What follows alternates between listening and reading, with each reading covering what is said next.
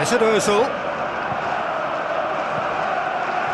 Difficult to choose between them early on. Not many chances yet. Mesut Ozil pings it out wide. Promising cross. Was always going to be the keeper's.